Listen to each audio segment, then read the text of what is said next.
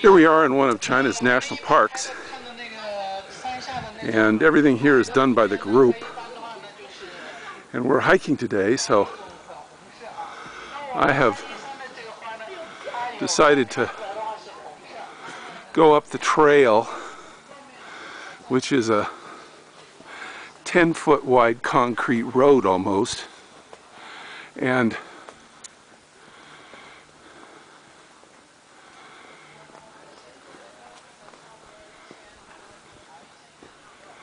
take a few pictures of the beautiful natural world here in in China.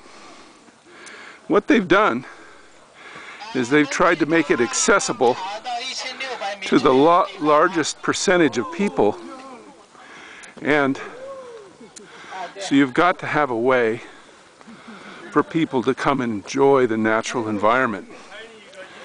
Now, this is not a wilderness per se, it's a national park. We'll go around the corner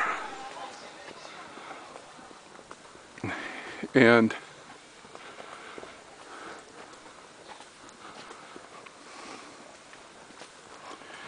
today it's cloudy but that actually adds some beauty to the way the trees and the mountains and everything looks.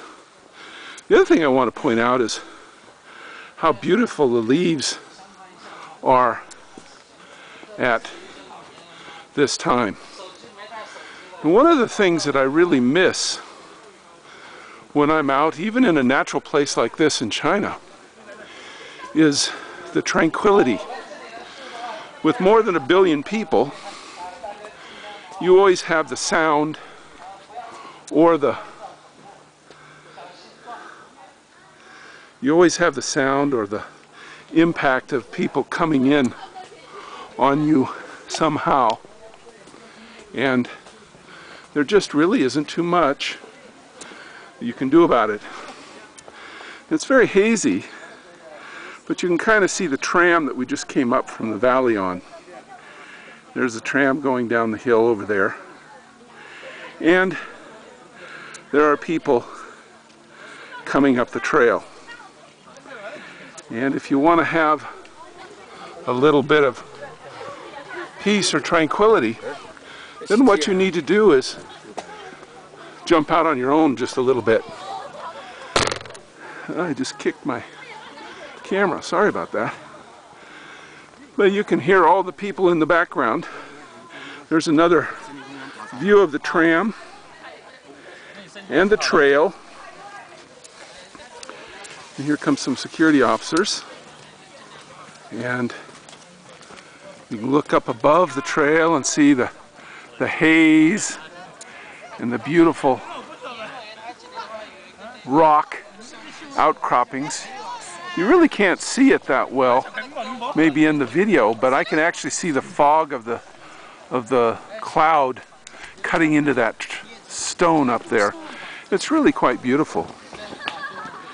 The other thing I would say is that although I'm sure some of some of this haze may be industrial, it is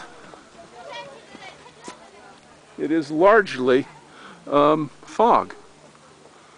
And here comes my good friend Ron with his bare knees.